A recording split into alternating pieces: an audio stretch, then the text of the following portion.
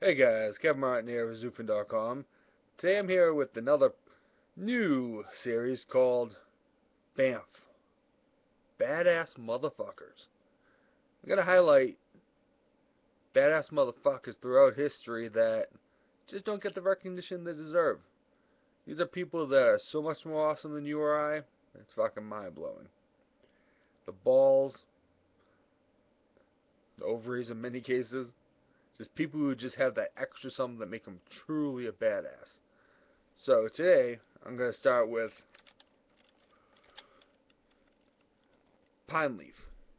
In the 1830s, Pine Leaf was uh, the chief of the Crow Nation of Indians. She was a hunter. She was a horse rider and a heck of a warrior